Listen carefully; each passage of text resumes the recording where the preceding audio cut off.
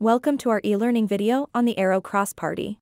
The Arrow Cross Party was a fascist political party in Hungary that was active during World War II. The party was formed in 1935 and it advocated for a totalitarian government, anti-Semitism, and the expansion of Hungary's territory. Under the leadership of Ferenc Szalasi, the Arrow Cross Party came to power in Hungary in October 1944, after the German occupation of Hungary.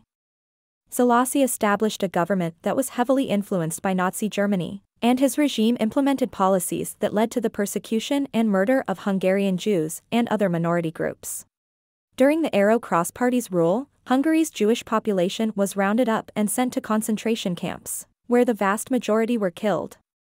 The Arrow Cross Party also committed numerous atrocities against other minority groups, such as the Roma and homosexuals. The Arrow Cross Party's rule came to an end in April 1945, when Soviet forces entered Hungary and defeated the German army. Many members of the Arrow Cross Party, including Szalasi, were arrested and tried for war crimes.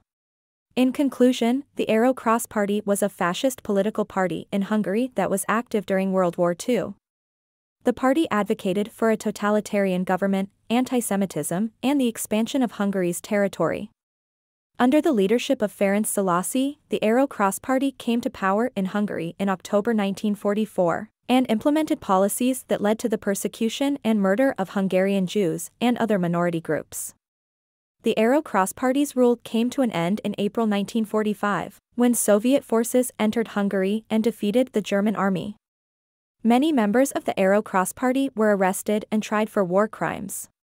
Thank you for watching our e-learning video on the Arrow Cross Party. We hope you have a better understanding of this political party and its role in the history of Hungary during World War II.